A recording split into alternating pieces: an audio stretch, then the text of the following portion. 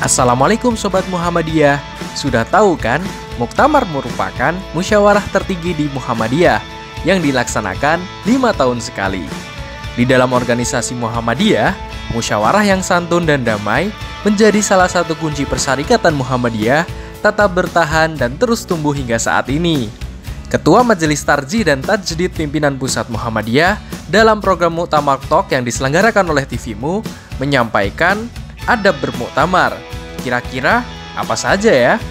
Sebelum ke lokasi muktamar, hal-hal yang perlu diperhatikan di antaranya berpakaian rapi dan sopan, mempersiapkan hal-hal yang berkaitan dengan proses berlangsungnya muktamar seperti bahan atau materi muktamar. Sedangkan saat berada di forum musyawarah, adab yang perlu diperhatikan antara lain Pertama, mengawali kegiatan muktamar dengan basmalah Kedua, mengucapkan doa untuk mengawali maupun mengakhiri kegiatan musyawarah. Ketiga, berbicara sopan dan tidak mengandur unsur sara. Dengan memperhatikan adab muktamar, muktamar tenang, hati pun senang.